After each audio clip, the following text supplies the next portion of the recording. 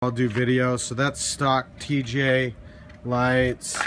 And then HID 4300K. There's the fucking high beams. I gotta move those spots up, dude. And then the spots just for shits and giggles. That's fucking, that's so gangster, dude. It's, it's the fucking width of the throw. It's the width, man. Like it covers the sides.